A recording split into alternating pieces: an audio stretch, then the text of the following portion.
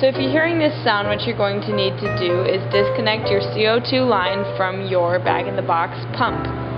To locate the CO2 line from the bag-in-the-box pump, it's going to be the center line that is attached to other bag-in-the-box pumps. It's going to be clear and it might have white or blue uh, tracing on the inside of the tube. Um, so once you locate this tube, follow it to the very top and grab the CO2 line with your other hand. And there will be a metal hatch at the top. What you're going to need to do is undo the hatch away from where it's connected to the top and pull out the CO2 line. Now it's disconnected and your uh, pop machine will still be fully functioning.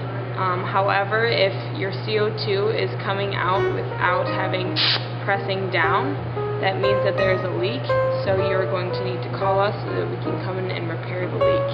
Until we come, you need to either put tape over the line, or you need to bend it like so and put tape around it until we get there that is how you disconnect your CO2 line from the bag-in-the-box pump.